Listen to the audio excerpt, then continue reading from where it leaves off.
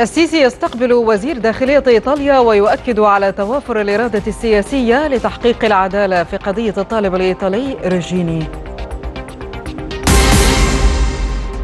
مدبولي يخفض الحد الأدنى للقبول بالجامعات لأبناء سيناء ويشهد توقيع بروتوكولات في مجالات الكهرباء والري والإسكان. ترامب يقول خلال اجتماع لأعضاء حكومته إنه الرئيس الأكثر حزما حيال روسيا.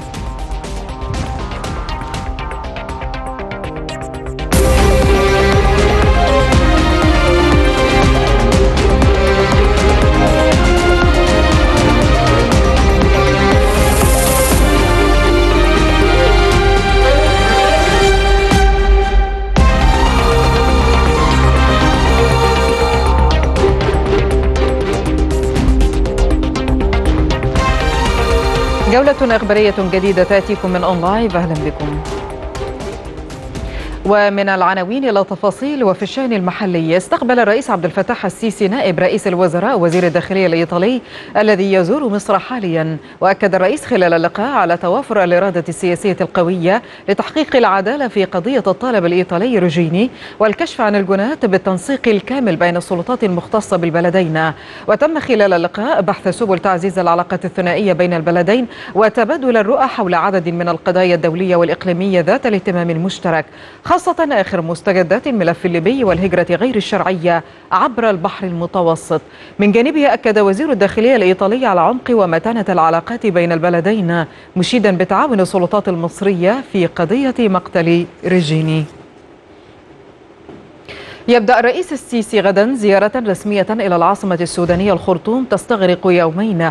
هي الأولى خارجيا له خلال فترة رئاسته الثانية. وقال سفير السودان لدى القاهرة عبد المحمود عبد الحليم إن الزيارة تعكس حيوية وخصوصية العلاقات بين البلدين كما أنها تضاف لسلسلة الزيارات واللقاءات العديدة بين زعيمي البلدين. وأشار إلى أن القمة المصرية السودانية ستستعرض موقف العلاقات المتطورة بين البلدين والجهود المتصلة لتعزيزها كما أنها ستبحث سير ونتائج الاجتماعات العديدة لآليات التعاون الثنائية التي شهدتها الفترة الماضية. كما تبحث القمة القضايا الإقليمية والدولية. محل الاهتمام المشترك. تشهد العلاقة المصرية السودانية تطورا ملحوظا لزيادة التعاون في قطاعات التجارة والصناعة والنقل والصحة والرياضة وغيرها من المجالات المشتركة بين البلدين. شريان واحد ينبض ليربط وطنا لطالما ظل لعقود طويلة كتلة واحدة.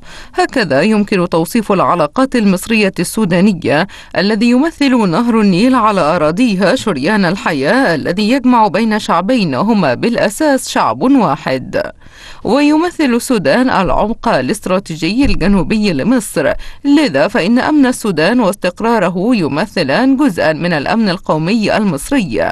ومن هنا تبرز أهمية السياسة المصرية تجاه السودان للحفاظ على وحدته واستقراره وتماسكه من ناحية وتعزيز علاقات التكامل بين الجانبين من ناحية أخرى. ولا أجد نفسي في حاجة للتأكيد على الوشائج والمشتركات التي تربط بين بلدينا وشعبين الشقيقين وهي علاقة راسخة وهي علاقة راسخة ومتجذرة وضاربة في القدم. تعززها أواصر التاريخ والآمال والتطلعات المشتركة. سياسيا تتفق مصر والسودان في الرؤى والمواقف تجاه العديد من القضايا الإقليمية والدولية وعلى رأسها ضرورة التصدي لظاهرة الإرهاب وتكثيف التعاون لتكفيف منابعه وقطع مصادر تمويله. كما يتفق الجانبان على ضرورة التصدي لظاهرة الهجرة غير الشرعية التي تحمل الشباب إلى قوارب الموت إضافة إلى قضية ضبط الحدود ومواجهة عمليات التهريب وضبط الخارجين عن القانون. اقتصاديا شهدت العلاقات المصرية السودانية نموا ملحوظا خلال السنوات الأخيرة حيث وقعت مصر والسودان عام 2016 العديد من اتفاقيات التعاون الثنائي شملت قطاعات التجارة والصناعة والنقل والصحة والرياضة وغيرها من القطاعات. استقر في وجدان كل مصري وكل سوداني من واقع هذه العلاقة الخاصة التي طالما ربطت بين البلدين والشعبين الشقيقين وما يجمع بينهما من تاريخ وحضارة مشتركة. وامتداد بشري متصل وعلاقات نسب وقرابة ومصاهرة على نحو يجعل من الشعبين المصري والسوداني أشبه بشعب واحد في وطن واحد. عسكريا يسعى الجانبان إلى إنشاء قوة مشتركة لتأمين الحدود بين البلدين وعقد دورات تدريبية مشتركة بجانب التعاون في مجالات التسليح وتبادل الخبرات العسكرية ودعم التعاون الأمني. ويسعى الرئيس عبد الفتاح السيسي في ولايته الرئاسية الثانية إلى تعزيز العلاقات مع السودان الشقيق في مختلف القضايا ودعم العمل الدبلوماسي الذي من شأنه أن يخدم المصالح المشتركة للبلدين الشقيقين.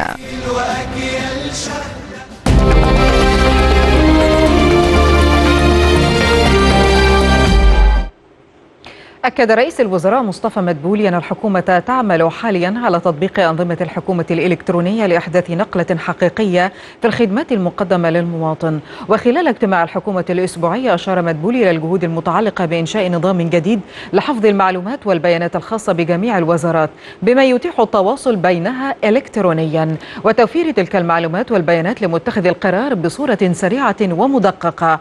هذا وشدد رئيس الوزراء على ضرورة الاهتمام بمراكز ووحدات خدمة المواطنين داخل كل وزارة وسرعة الرد على شكاوى المواطنين.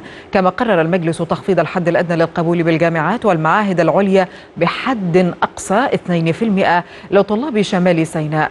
هذا واستعرض الاجتماع تقريرا بشأن تصور التنمية الشاملة لمنطقة رشيد بمحافظة البحيرة.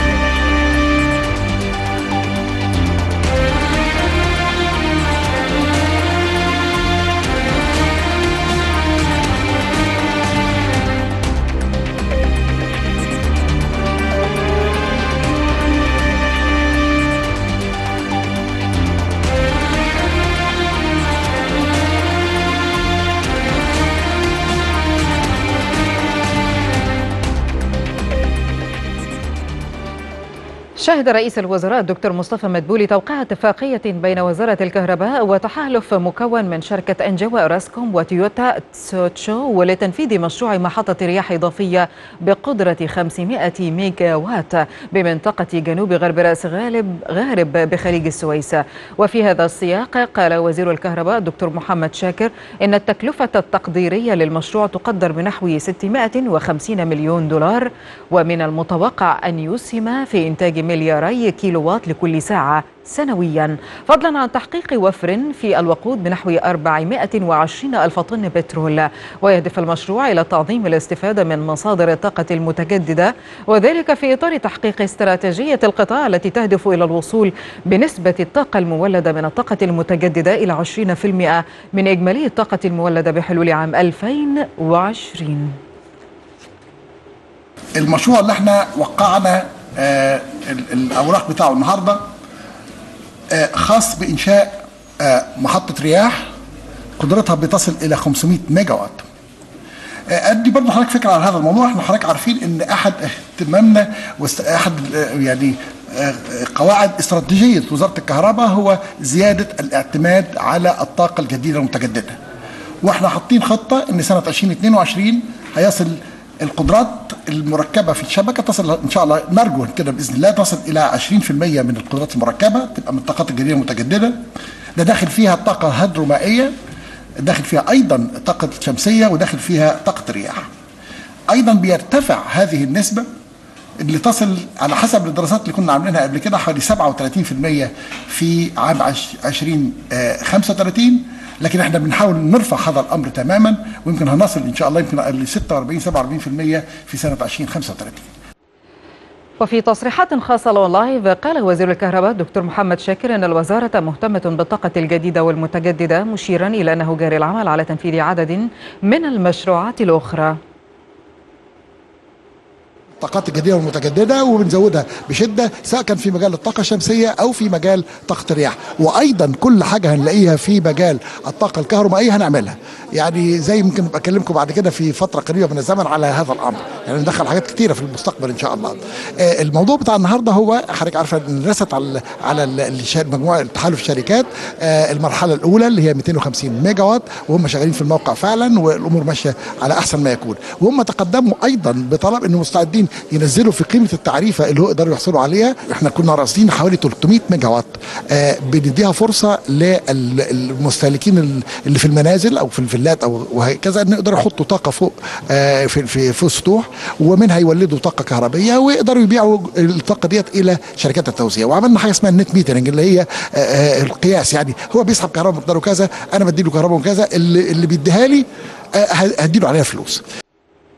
كما شهد رئيس الوزراء الدكتور مصطفى مدبولي توقيع اتفاقية تعاون بين كل من وزارة الري والبنك الزراعي المصري لتمويل مشروعات التحول من الري القديم إلى الحديث. وفي هذا السياق قال وزير الري الدكتور محمد عبد العاطي إن الاتفاقية تهدف لتمويل المشروعات للتحول من الري القديم إلى الحديث وذلك بهدف ترشيد استهلاك المياه. مضيفا أن الاتفاقية تأتي في إطار التعاون مع وسيلة تمويل مستدامة ووطنية للتسهيل على الفلاحين. أوضح وزير الري الدكتور محمد عبد العاطي أن ترشيد استهلاك المياه يستلزم تطوير منظومة الري بشكل عام مشيرا إلى أن تطوير المنظومة ينعكس إيجابيا على الفلاحين. مية الري عشان نرشدها يبقى لازم ندخل آه، نظم تطوير الري في الأراضي القديمة أو الري الحديث. إحنا عملنا منطقة تجريبية في آه، في الفيوم بحيث إن إحنا جمعنا المساحات الصغيرة كلها في مساحات كبيرة بتصل ل 100 ل 200 فدان. دخلنا فيها الري الحديث. الري الحديث دوت ساهم إن الفلاحين قلل تكلفة السماد لأن بت- بتخلط السماد بالمية بيتوزع بانتظام على المحصول زود الإنتاجية نفس العملية للمبيدات بتتحط مع الميه الري بتتوزع آه، بطريقة ري حديث. وبالتالي النتيجة بتاعت التجربة بتاعت الفيوم ديت بقى في إقبال آه، وطلب على إن إحنا ندخل آه، طرق الري الحديثة وده هيرشد المية وهيحسن نوعية المنتج الزراعي. وفي نفس الوقت هيحسن دخل الفلاح. لأن الفلاحين الفلاحين لما يتجمعوا في آه، مساحات كبيرة يقدروا يعملوا شركة مع بعض يقدروا يسوقوا منهم للمستهلك مباشرة وبالتالي دخل الفلاح هيزيد وسعر المستهلك هيقل. وفي تصريحات ل ON Live أكد وزير الري والموارد المائية الدكتور محمد عبد العاطي أن نجاح تجربة الري الحديث بمحافظة الفيوم أدى إلى إقبال كثير من قبل الفلاحين إلى الانضمام في المنظومة الحديثة للري مشيرا إلى أن التمويل الحالي للمشروع يعد مشجعا للفلاحين للدخول في المنظومة. في الحقيقة في إطار خطة الدولة لترشيد الميه إحنا عندنا عملنا منطقة تجريبية في الفيوم آه، بحيث إن مجموعتين من الفلاحين جمعوا مساحات آه، اللي يجمع مساحة 100 فدان فأكثر بندخل دخلنا له الري الحديث. التجربة لقت نجاح وفي طلب من الفلاحين على إنهم يخشوا في المنظومة ديت وبالتالي كان لازم ندور على وسيلة تمويل بسعر كويس يشجع الفلاح إن هو يكمل. آه وقعنا بروتوكول من شهر مع البنك الأهلي والنهاردة مع البنك الزراعي. يبقى في وسيلة تمويل سهلة للفلاح بسعر فايدة بسيط آه بشروط ميسرة بيخش بالخبرة الفنية في وزارة الري ال- في وسيلة التمويل فيه الفلاح اللي هو المستخدم دي بتشجع الفلاحين لما بيعملوا مساحات كبيرة بيعملوا شركة مشتركة مع بعض وبالتالي يبقى الإنتاجية بتاعت الأرض ال 100 فدان هتبقى إنتاجية عالية إنه هيزرع محصول واحد آه، هيبقى في آه، توزيع أو تنظيم للسماد هيتوزع بانتظام لما بتخلط بالمية قبل ال- الري. شهد رئيس الوزراء الدكتور مصطفى مدبولي وزير الإسكان والمرافق والمجتمعات العمرانية توقيع اتفاقية منحة برنامج البنية التحتية بالمشاركة والمقدمة من الاتحاد الأوروبي والوزارة الألمانية الفيدرالية للتعاون الاقتصادي والتنمية. وأكد نائب وزير الإسكان الدكتور عاصم الجزار أن البرنامج يقدم 30 مليون يورو لتطوير البنية التحتية في تسع مناطق عشوائية بالقاهرة الكبرى. من جانبه أشار مدير الوكالة الألمانية للتعاون بالقاهرة إلى أن المشروع يعد نموذجا جيدا للتعاون الناجح بين الاتحاد الأوروبي والحكومة الألمانية ووزارة الإسكان. كما أكد سفير الاتحاد الأوروبي في مصر بأن الدعم الذي يقدمه الاتحاد الأوروبي يسهم في تحسين ظروف المعيشة لما يقرب من مليوني شخص من سكان المناطق العشوائية. وأكد نائب وزير الإسكان الدكتور عاصم الجزار أن الاتفاقية تهدف إلى تطوير المناطق الأكثر عشوائية في كل من محافظة القاهرة والجيزة والقليوبية مشيرا إلى أن المشروع يسهم في تحسين البيئة العمرانية بوجه عام. الاتفاقية الإطارية دي بننفذها بالتعاون مع الجانب الألماني الوكالة الألمانية للتعاون بالقاهرة. بننفذ فيها مشروعات لتطوير والمناطق المتداعية عمرانيا في ثلاث محافظات القاهرة والجيزة والقليوبيه هيتم تطوير ثلاث مناطق بالكامل داخل كل محافظة من المحافظات الثلاثه برنامج العمل بيتقسم لثلاث مجالات رئيسية. المجال الأولاني هو معني بتحسين البيئة العمرانية والبنية الأساسية المجتمعية ودي بتتكلم على الانفراستراكشر أو ال ال ال البنية الأساسية والخدمات المجتمعية سواء في مجال الصحة والتعليم. الهدف الثاني اللي اللي بيشتغل عليه المشروع هو مجال العمل في المشاركة المجتمعية وتحسين قدرة المواطنين على التفاعل مع المشروعات اللي بتتم في الأماكن بتاعتهم. كما أوضح نائب وزير الإسكان الدكتور عاصم الجزار أن المشروع يشمل تطوير 30 مشروع من إجمالي المناطق التسعة مشيرا إلى أن تلك المشروعات تتنوع بين مشروعات للصرف الصحي أو مشروعات لتحسين الخدمات الصحية والطبية. ثلاث مناطق من المناطق العمرانية المتدهورة. التطوير ده في كل بيشمل 30 مشروع في في إجمالي التسع مناطق بتتنوع من مشروعات خاصة بالبنية الأساسية سواء كانت مية أو صرف صحي وبعض المشروعات الخاصة بتطوير البيئة الحياتية للمجتمع المحلي في المناطق دي من إنارة واناره شوارع أو تمهيدها أو العمل على تحسين الخدمات الصحية والتعليمية. الاتفاقية كمان فيها إضافة للجزء الفيزيكال أو العمراني جزء اجتماعي ان إحنا بنساعد المجتمع المحلي على الانخراط في عمليات التنمية والمشاركة فيها إضافة لرفع القدرات المؤسسية للمجتمع المدني والإدارة المحلية في عملية التطوير عشان نستهدف المواطن بشكل أكثر تحديدا ويحس بعوائد التنمية بشكل مباشر عليه. مشاهدينا الكرام النشرة ما زالت مستمرة فاصل ومن ثم نعود ابقوا معنا.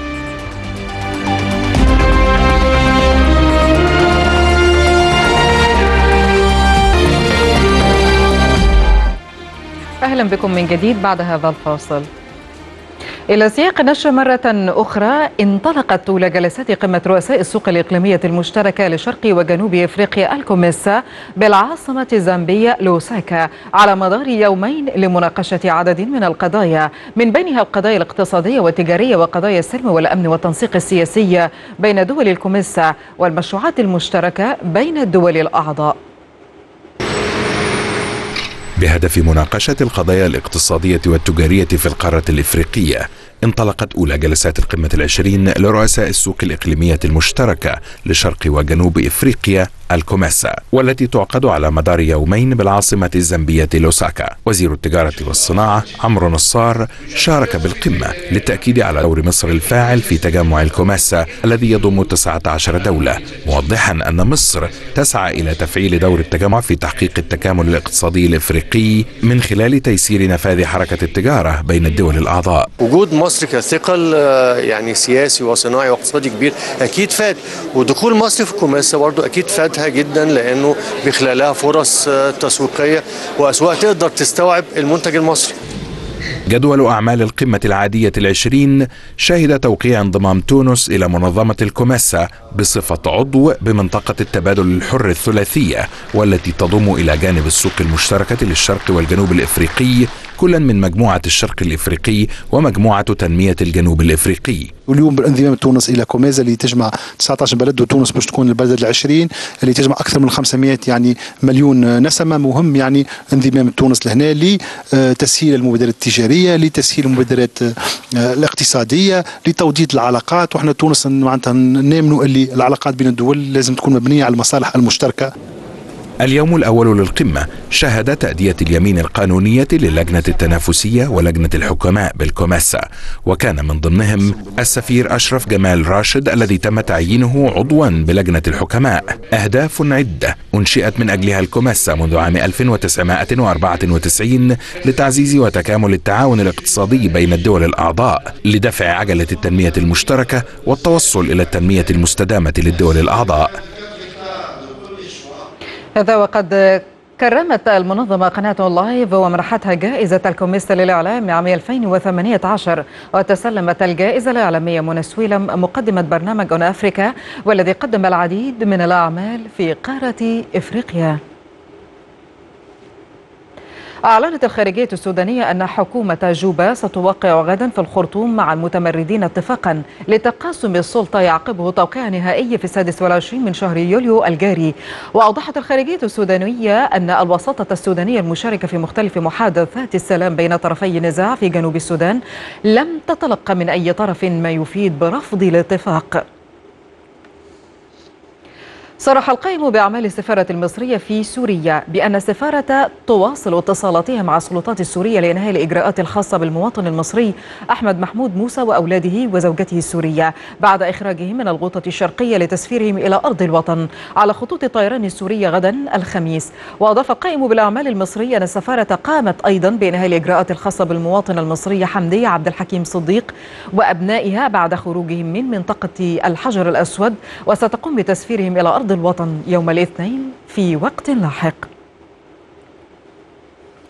دخلت 94 حافلة بالإضافة لسيارات إسعاف بلدتي الفوعة وكفرية شمال غرب سوريا لإجلاء السكان عبر ممر تلة العيس في حلب والذين كانوا محاصرين من قبل التنظيمات الإرهابية حيث من المقرر نقل قرابة 7000 شخص من البلدتين إلى مناطق سيطرة الجيش العربي السوري في محافظة حلب. وينص اتفاق الإجلاء الموقع على إخراج أهل البلدتين مقابل الإفراج عن 1500 من المسجونين لدى الحكومة السورية وتابعين للجماعات الإرهابية المسلحة وتعد الفوعة وكفرية البلدتين الوحيدتين المحاصرتين حاليا في سوريا بحسب الأمم المتحدة بعدما استعادت قوات الجيش العربي السوري خلال عمليات عسكرية وبموجب اتفاقيات إجلاء العدد الأكبر من المناطق التي كانت تحاصرها في سوريا. هذا وقد أعلنت وزارة الدفاع الروسية عن إنشاء مركز خاص في سوريا لاستقبال وتوزيع وإيواء النازحين واللاجئين السوريين المقيمين في الخارج للعودة لبلادهم وتنظيم إيصال المساعدات الإنسانية والمستلزمات الأساسية ومواد البناء والاحتياجات المادية الضرورية. بما في ذلك من الدول الأجنبية إلى سوريا وتسليمها للسكان ومساعدة السلطات السورية في إحياء نظام الرعاية الصحية والخدمات العامة الأخرى وحل القضايا الأخرى المتعلقة بمساعدة عودة اللاجئين وضمان تلبية احتياجاتهم الأساسية. وما زلنا في الملف السوري حيث تصاعدت أعمدة من الدخان في جنوب سوريا على المنطقة الحدودية في مرتفعات الجولان المحتلة وسط هجوم للحكومة السورية بدعم من القوات الجوية الروسية في المنطقة. ما أسفر عن مقتل ما يقرب من 12 شخصا وإصابة المئات. وقالت مصادر إن القصف الجوي تم بما يقرب من 350 صاروخا على الأقل على مدينة نوى والمناطق المحيطة بها. أما في بلاد الرافدين أصيب أربعة أشخاص في انفجار عدة قنابل مزروعة على الطرق في مدينة كركوك النفطية بشمال العراق. وقال مسؤول في الشرطة إن القنابل انفجرت في حي تجاري بالمدينة ولم تعلن أي جهة وقوفها وراء تلك الانفجارات. في اليمن أعلن زعيم الحوثيين في اليمن عبد الملك الحوثي موافقته على تسليم إدارة ميناء الحديدة إلى الأمم المتحدة بشرط وقف التحالف العربي لهجماته حسب قوله. وقال الحوثي في مقابلة مع صحيفة لوفيغارو الفرنسية إنه أبلغ مبعوث الأمم المتحدة إلى اليمن مارتن جريفيث عدم ممانعته أن تشرف الأمم المتحدة على الميناء.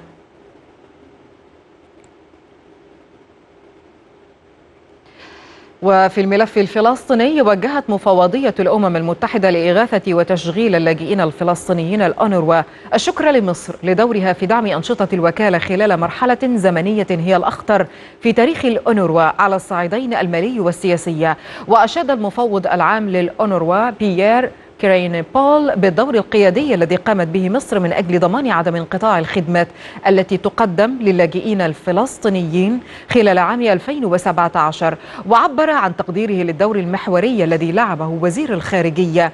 في حث المانحين على دعم الوكالة ماليا من خلال مؤتمر روما الداعم للأونروا في شهر مارس الماضي والذي وفر المساعدات التي تقدر بمئة مليون دولار. في السعودية أعلنت شركة أرامكو النفطية السعودية عن سيطرتها على الحريق الذي نشب في إحدى المصافي التابعة لها بالعاصمة الرياض. وأوضحت الشركة أن الحريق وقع بسبب حادث يتعلق بالعمليات مؤكدة عدم وقوع أي إصابات كما أن أعمال المصفاة لم تتأثر بالحريق.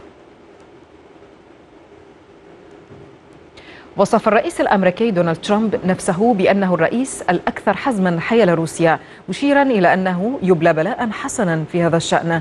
ويواجه ترامب عاصفة انتقادات بسبب موقفه الذي اعتبر متساهلا مع الرئيس الروسي فلاديمير بوتين خلال قمه هلسنكي. وكشف ترامب خلال ترأسه اجتماع لاعضاء حكومته أنه سيكون هناك اجتماع يوم الأربعاء المقبل مع الاتحاد الأوروبي لمحادثات بشأن التجارة البينية. تتوالى ردود الفعل العالمية على الاتفاق على إلغاء الرسوم الجمركية بين الاتحاد الأوروبي واليابان. الاتفاق الذي وصف بالتاريخية يوجه رسالة ضد السياسات الحمائية التي ينتهجها الرئيس الأمريكي دونالد ترامب الذي يرى الكثيرون أنها أبقته دون حلفاء.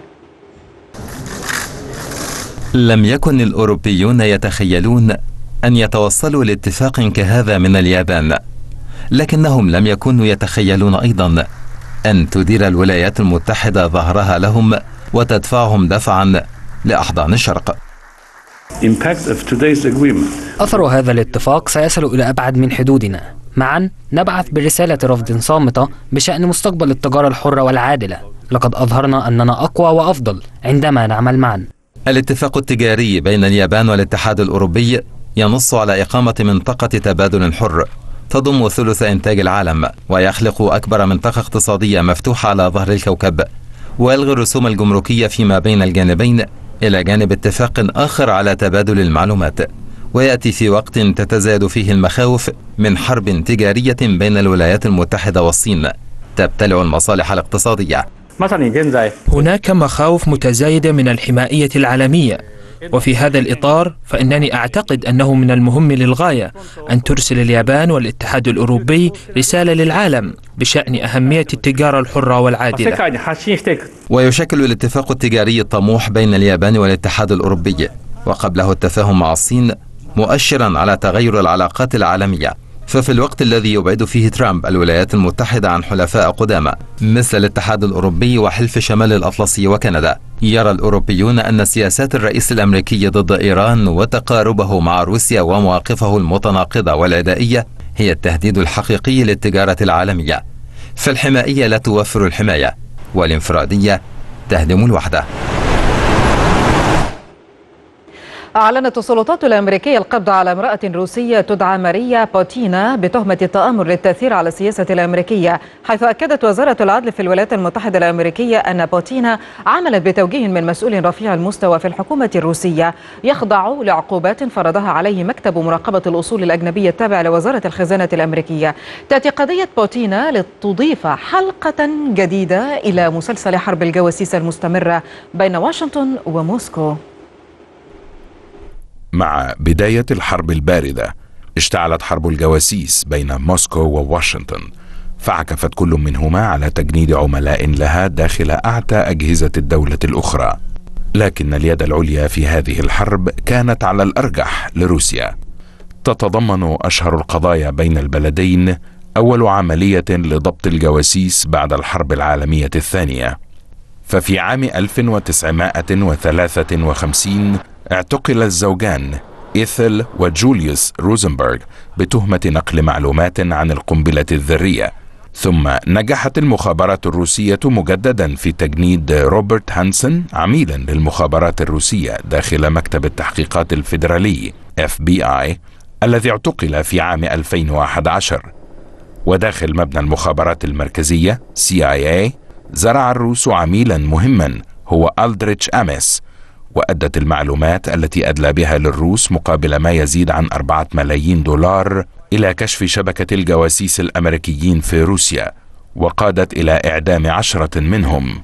عميلة أخرى شهيرة هي أنا تشابمان سيدة الأعمال الحسناء الروسية التي استردتها روسيا في إطار صفقة لتبادل الجواسيس في فيينا في يوليو 2010 أما القضية الأشهر فهي قضية إدوارد سنودن الذي سرب معلومات عن برنامج وكالة الأمن القومي لمراقبة المواطنين ثم اتخذ من موسكو ملاذا آمنا رغم أنه لم يثبت بعد أنه كان عميلا لصالح المخابرات الروسية. بآلية مختلفة استمرت الحرب في الألفية الثالثة فقد شهدت الولايات المتحدة العديد من الهجمات الإلكترونية التي يعتقد أن مصدرها روسيا. وهو ما نفته الأخيرة مرارا.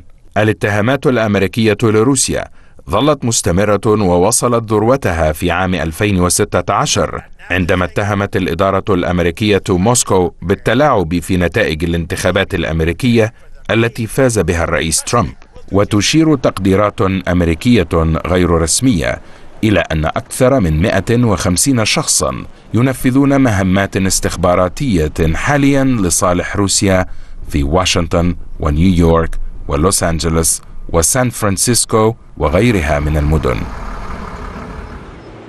هبطت أول رحلة جوية تجارية من إثيوبيا إلى إريتريا لأول مرة منذ عشرين عام اليوم في أسمرة حيث كان في انتظارها استقبال شعبي حافل في خطوة تعزز التقارب المفاجئ الذي أنهى سنوات طويلة من العداء. إثر النزاع الحدودي الذي اندلع بين البلدين عام 1998 حيث تم توقيع اتفاق سلام بين رئيس الإريتري السياسي الفارقي ورئيس الوزراء الإثيوبي أبي أحمد الأسبوع الماضي.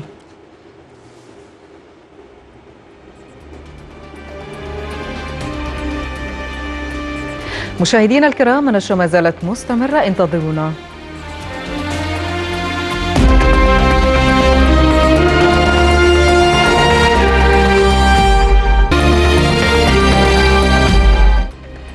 أهلا بكم من جديد بعد هذا الفاصل.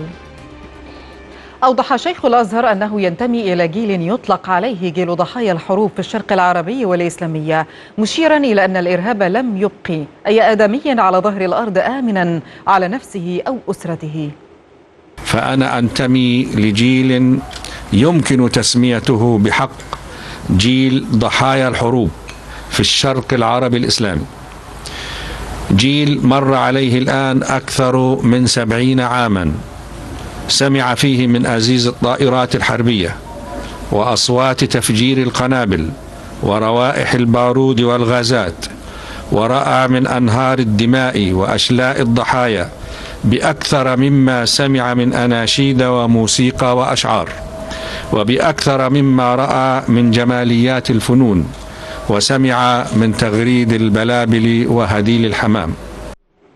وخلال كلمته في حفل اختتام منتدى شباب صناع السلام أكد شيخ الأزهر الدكتور أحمد الطيب قدرة الشباب على حمل شعلة الحوار مشيرا إلى أن التقارب أو التقاء الغرب والشرق ينتج عنه المصلحة الإنسانية الواحدة المشتركة. أحييكم وأحيي فيكم وهج الفكر وصلابة العزيمة وإرادة القوة ووثبات الخيال والطموح. وكل ما شاهدناه خلال هذه الفترة من حسن استجابة للرسالة المقدسة التي أسندت إليكم ومن جدية في تحمل المسؤولية مما يؤكد أننا نجحنا والحمد لله في اختيار رواد يصنعون السلام ويضيئون المستقبل.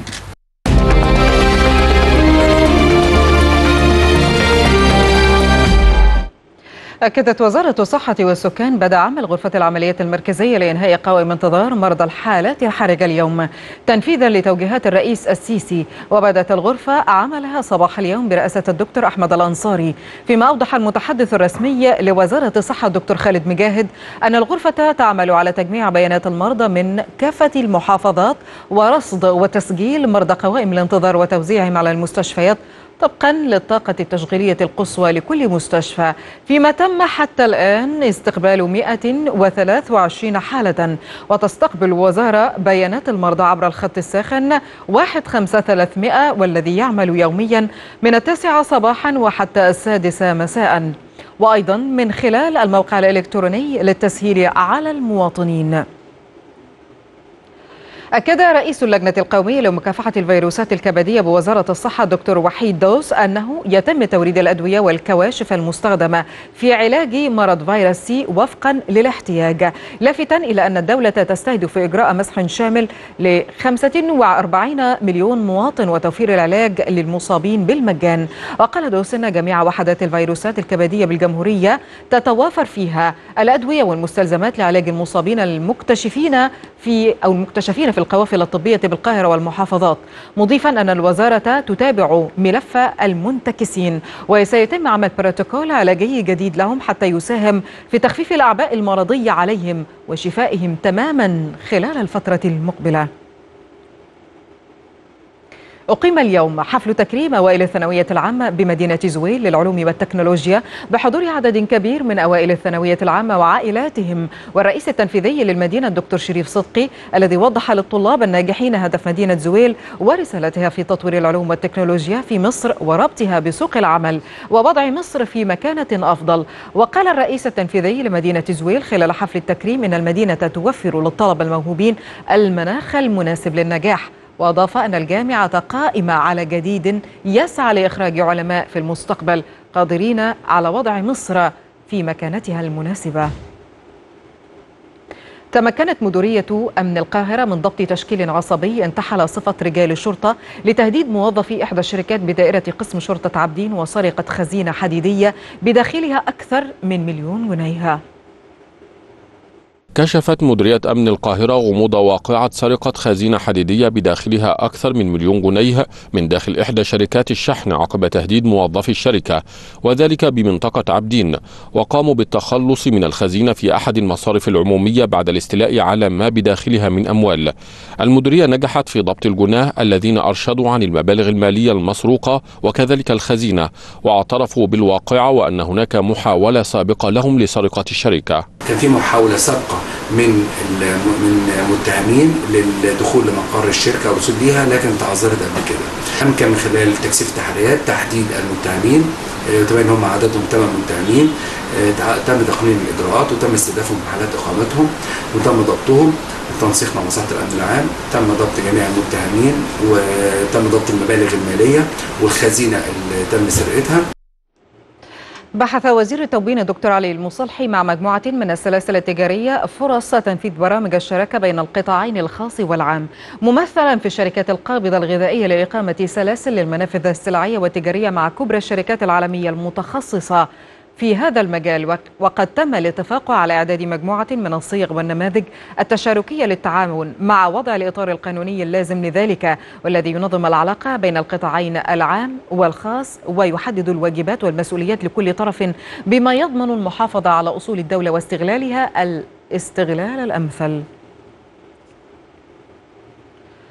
أعلن عضو الهيئة العليا بائتلاف حب الوطن والنقيب العام للعاملين بالنظافة وتحسين البيئة أمين حسن. انطلاق حملة الرئيس لزراعة مليون شجرة مثمرة بحي مصر القديمة تحت رعاية الائتلاف ومحافظة القاهرة وهيئة نظافة القاهرة. النهارده بداية حملة معالي الرئيس لزراعة المليون شجرة مثمرة وابتدينا فعلا النهارده الحملة تبناها ائتلاف حب الوطن مع محافظة القاهرة وبقية المحافظات. النهارده فعلا بنبتدي بحي مصر القديمة ومركزين على الأحياء الشعبية. الحي مصر القديمة النهارده والمكان اللي إحنا موجودين فيه بالخصوص النهارده آه، حاجة مميزة جدا لأن ده يعتبر الممر والمدخل السياحي لمجمع الأديان ومسجد عمرو بن العاص. وهي منطقة أثرية بيمر عليها يوميا عدد كبير جدا من السائحين والمفروض اللي إحنا يبقى الشكل العام بتاعها يعني ليه ليه ليه رونق أكتر من كده. فإحنا خدنا المكان النهارده.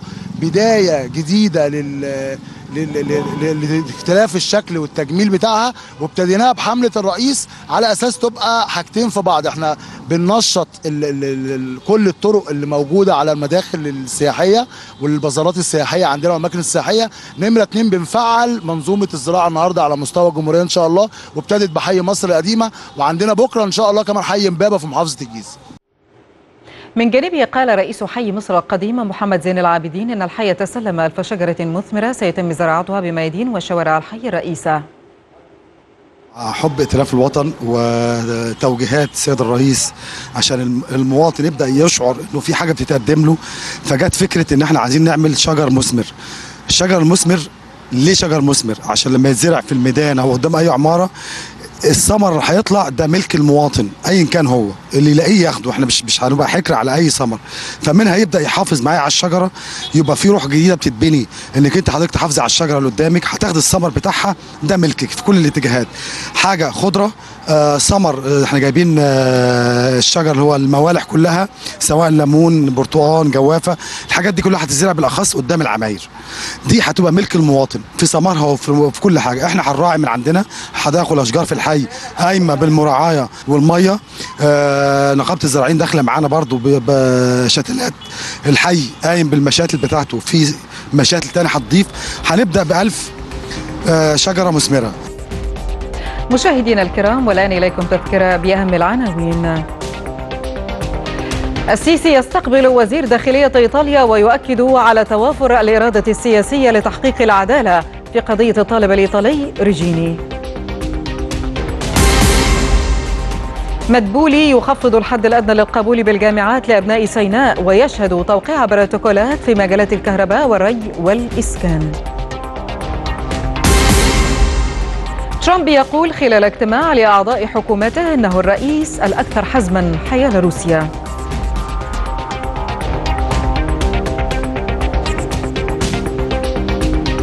مشاهدينا الكرام نترككم الآن مع لقاء مع وزيرة التخطيط والمتابعة والإصلاح الإداري هالة السعيد على هامش تمثيلها لمصر.